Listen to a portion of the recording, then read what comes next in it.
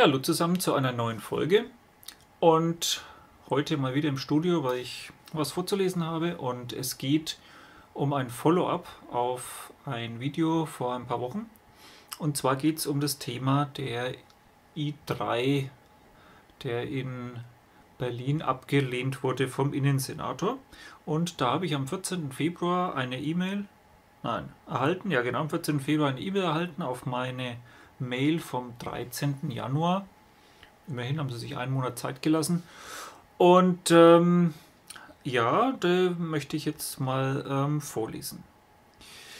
Sehr geehrter Herr Wolf, Sie haben sich per Mail vom 13. Januar 2019 an den Innensenator von Berlin gewandt. Als Leiter der Pressestelle erlaube ich mir, Ihnen darauf zu antworten.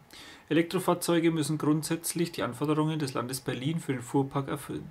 Es handelt sich hier nicht um vornehmlich privat genutzte Fahrzeuge, sondern um den Arbeitsplatz der Fahrerinnen und Fahrer des Fuhrparks, für die wir eine Fürsorgepflicht haben. Dieser Arbeitsplatz muss bestimmten Anforderungen entsprechen. Das Fahrpersonal muss regelmäßig im Fahrzeug auf einen möglichen Einsatz warten, was insbesondere bei kalten Temperaturen ohne genügend Heizungsmöglichkeiten aus Arbeitsschutzgründen nicht zumutbar ist. Erster Absatz. Soweit, so gut. Ist vollkommen verständlich, sehe ich immerhin immer noch kein Problem, das mit einem Elektroauto abzubilden. Das Land Berlin fragt regelmäßig bei den Herstellern ab, welche reinen Elektrofahrzeuge und Elektrohybride diesen Anforderungen entsprechen, um diese in das Portfolio des Fuhrparks aufzunehmen. In der Vergangenheit haben wir von der von Ihnen thematisierte BMW i3 und auch andere einzelne Hybride diesen Anforderungen nicht entsprochen, sodass von der Anschaffung abgesehen wurde. Dies war auch zum Zeitpunkt der Aufgabe der Bestellung des MDA Herrn Träger der Fall kann ich nicht nachvollziehen. Der i3 war, hat jetzt ähm, wieder ein Upgrade bekommen, aber war schon vorher von der Reichweite her ähm, locker möglich und er hatte auch eine Wärmepumpe. Also das ist vorgeschoben, hier ähm, versucht man sich rauszureden. Das ist meine persönliche Meinung. Also das Land Berlin ist nicht so groß, dass ich da ein Fahrzeug brauche, mit Riesenreichweite. Die fahren nicht so viel am Tag. Ne? Und es gibt in Berlin auch Schnellladesäulen, wenn man den dann wirklich mal länger fahren würde. Oder man kann auch sich an eine öffentliche Ladesäule stellen. Also das sollte gar kein Problem sein. Erfreulicherweise schreiten die technische Entwicklung auf dem Feld der Elektromobilität und auch die Verbesserungen bei Ladeinfrastruktur weiter voran. Diese Entwicklungen und die tatsächliche Verfügbarkeit von Fahrzeugen verfolgen wir kontinuierlich und überprüfen sie auf ihre Praxiseignung für den Fuhrpark Berlin.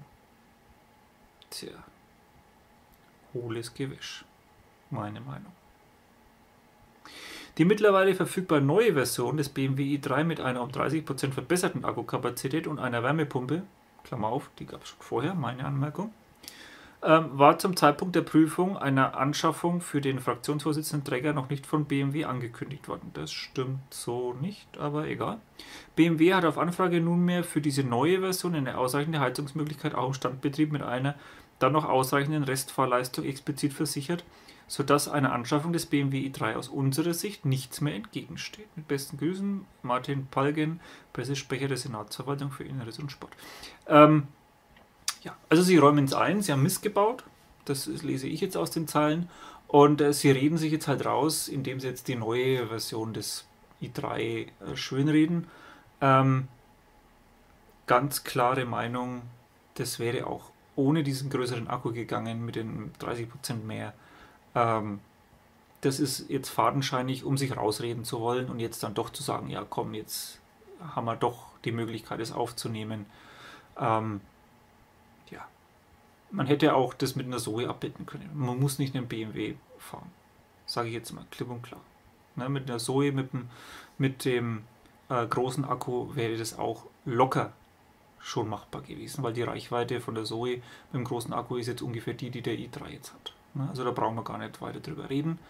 Die haben sich herausreden wollen. Ich finde es gut, dass zumindest eine Antwort kam.